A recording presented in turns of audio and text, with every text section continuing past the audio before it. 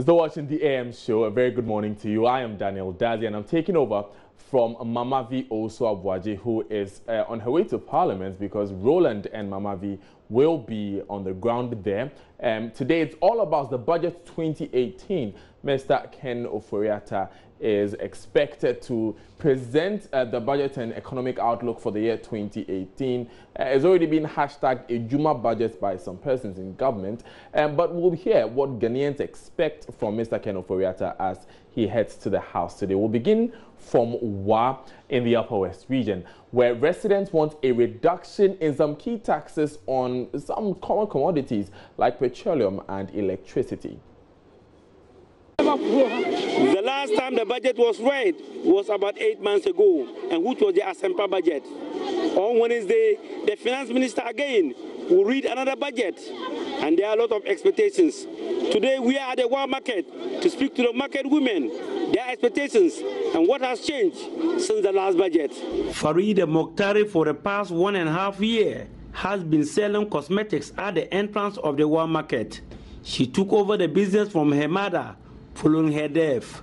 For Farida, nothing has changed in her business since Finance Minister Ken Ofori-Atta read the Asempa budget in It has not had any effect on the goods we sell. Things start, things go up drastically every day. Every day. In fact, we, we, are, we, are, we are really suffering. In fact, we wish that, that the government of Ghana will do something about the economy. Because he promised to help us. He promised to help us. So at least we are still holding on to his promise that he should help us. Have you seen any change in your life? Not really. I haven't. I'm yet to experience change in my life. I'm yet to experience it. What do you want to be included in the budget? At least uh, things should be re- reduced. That the VAT and all those things, it should be reduced. Especially the fuel. Because once fuel goes up, everything uh, is being affected. Everything is being affected. So I mean, the, the fuel, the size, the price of fuel should go down. Zala Edif is a student and is used to buying products at the Wa market. Her reaction to last year's budget was mixed. I benefit in a way, some of the things, but sometimes I didn't benefit. For example, it got to the time that the fuel increased. So, you know, I'm traveling from here to Japa or anywhere, and then it was 50 cedis. Now it's going to be 60 cedis or 55. So I benefit in a way, and then to the other part, I didn't benefit. Hajia Odoko has been selling yams for over two decades at the Wa market. It is through the business that she has been able to take care of her children. Since the Asempa budget was read last March, she and her colleagues have reduced the prices of their products at the market in anticipation of luring more prospective buyers to their fold. However, it did not yield the desired results.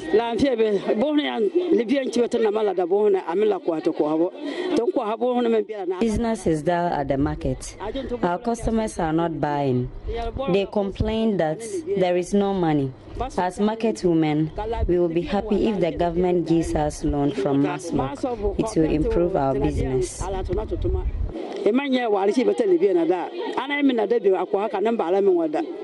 What about taxi drivers? What are they saying about Wednesday's budget? We also listen to them. I do not see any help at all because taxes has just remained as it was.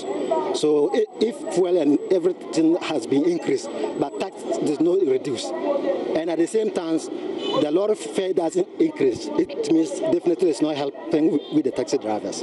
I am expecting him to uh, increase the lorry fare. So it will also benefit with the drivers. If he doesn't increase the lot of fare, it won't anyway help us at all. And so clearly means that you want fuel to be reduced? Either fuel should be reduced or lot of fare should also be increased. Basiri Moru has a spare parts store right at the entrance of the Wakajetier. He has been in the business for over 25 years. For him, the might talk about the reduction of import duty on auto pass is much ado about nothing. No, they haven't reduced anything yet. They have said it, but now things are increasing. When you are going, they say duties is high. Because of that, we are suffering, still suffering.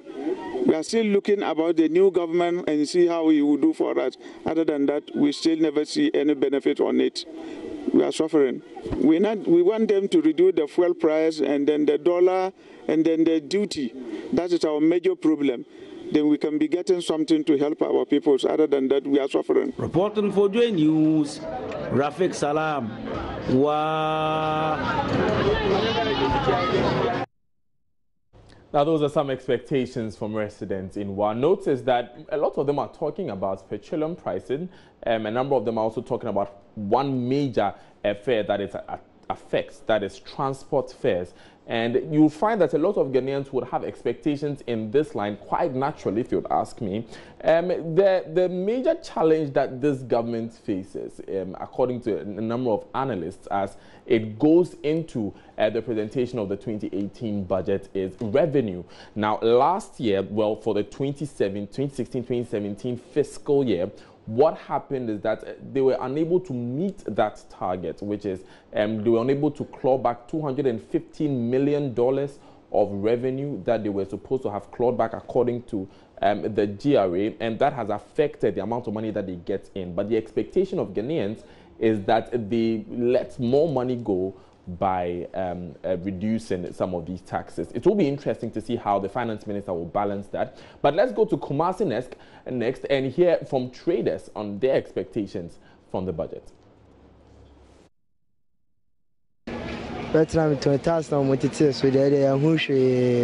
I saw leather belts. We heard about the reductions in taxes, but it has not affected the business in any positive way.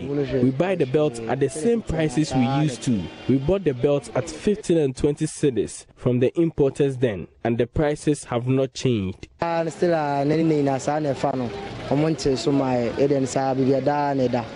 I also sell phones and accessories, right? So when you see way back, it was selling uh, phone like uh, Samsung Note 5. That time it was um, 1,500, and that time you can sell it at 2,000. Then you get your profit via 500 Ghana cedis, right? It was this time around they have reduced the phone prices, but but the market is going slow. So we don't know whether our president uh, uh, uh, uh, the inflation that it was reduced that makes the uh, business too slow or what? I don't know. Because when you see uh, phones like Samsung Galaxy S3 S4 all the phones they have reduced the prices. All the phones. And even though the accessories they have also reduced the prices. Um, and this time around the market is going too slow. The foreign currency that's the that's the major thing that causes our problem because our people who used to go China and bring the goods use the dollar, and now the grid is also not stable.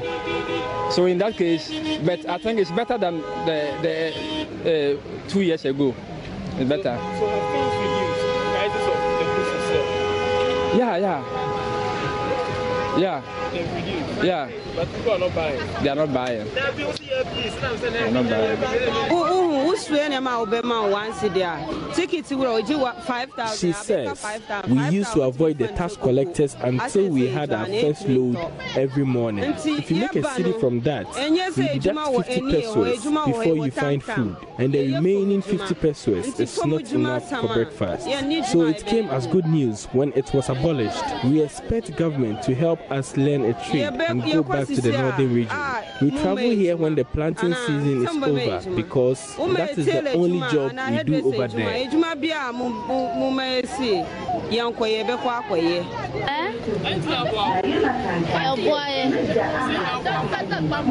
She says the tax exemption has relieved us a lot.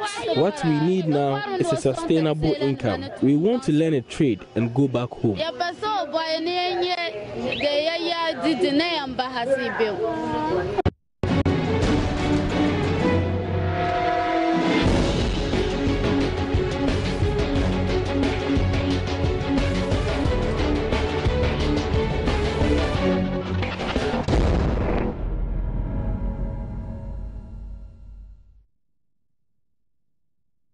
And we expected more of that in terms of expectations um, from across the country today um, of Mr. Ken Ofori-Atta. Of course, the finance minister is expected to uh, be in the House by about 10 a.m. And so by that time, uh, we'll be hearing what the plan will be in terms of finances for the next year. Now, there are so many different elements to uh, Ghana's books when it comes to money that we will be going into. And um, already we can see that it's, you see, it's not just uh, the ordinary Ghanaians like you and I who have expectations of government, even uh, the key ministries, departments, and agencies who really are going to be doing the spending of the money have some expectations. Now, uh, during this fiscal year, some interesting revelations came up. The Honorable Deputy Roads Minister Anthony Abayifaa Karbo said that, look, there is almost no money in the road fund. There is uh, very little money to uh, undertake infrastructural projects. Now, he has been saying that uh, for even projects for the next 10 years, it will be difficult uh, to fund with the 1.2 billion Ghana cedis that is currently in the road fund. Remember that it was already announced that there are some 23 million Ghana cedi debt uh, that was met by this government that has to be that has to be dealt with. And so that is one thing that we'll be looking at. How will these governments be dealing with infrastructure? in the first place. You know, coming into governments, they were uh, not so hard on infrastructure during the campaigning, but there is still a, an infrastructure deficit that we've been highlighting. So there is there are those expectations. We'll be going into all of that, uh, but like I said, more expectations coming your way here in Accra. The head porters, popularly called Kaya, say business is booming because of the tax incentives, well, the rebate uh, that they received from government. The ticket, how much was it? It's 150 pesos. Have they stopped collecting that? Yeah, they stopped. When? Since when they vote and saying that they will not collect the ticket again. So now, when how is business? How is work? So now the business is going down. It's going down. Sometimes when you come back and you don't have the money, it's no problem for you. But first, you know, when you don't have money, they take people, they will follow you and say you collect the take. But you don't have money. But when they stop the take, you know, it's good for us. Yeah. How much were you paying for tickets? They're paying 50 percent. Do they still take the money? No. When did they stop taking the money? See, when they vote. When they vote, that's what they, stop. Okay, so how is business? Now, the business is good. Pardon? And the business is fine. When we get money, we take for us, ourselves. We're not getting money to anybody.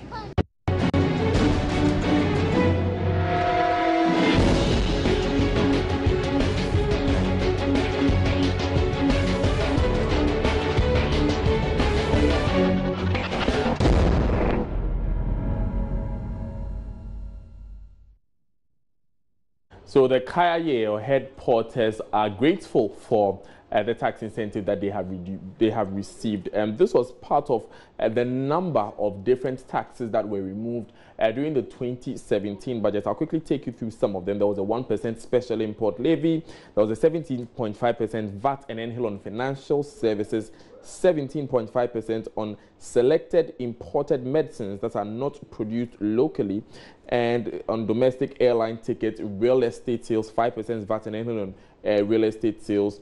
They replaced the 17.5% VAT and NHIL with a 3% flat rate for traders. Now, this particular tax that was introduced brought about so much controversy, if you quite remember. And of course, um, uh, the, one of the executives of the Ashanti Business Traders Association uh, has mentioned that they would prefer the old regime because the new 3% VAT uh, uh, flat rate is, is rather costing them more. Now, uh, the finance minister has mentioned earlier that it will not change, that the current regime will stay. Uh, they've gotten tax credits and other incentives for businesses that hire young graduates from tertiary institutions, tax incentives for young entrepreneurs, and duties on imported spare parts. Uh, so these are uh, among others. Now, these are some of the taxes that were removed. We'll go to Parliament now uh, because Roland Walker and George Wiafe are standing by, but very soon will be joined by leadership of the General Agriculture Workers Union to be looking at what they expect from this budget, of course, and how they have seen the management of Ghana's finances in this fiscal year.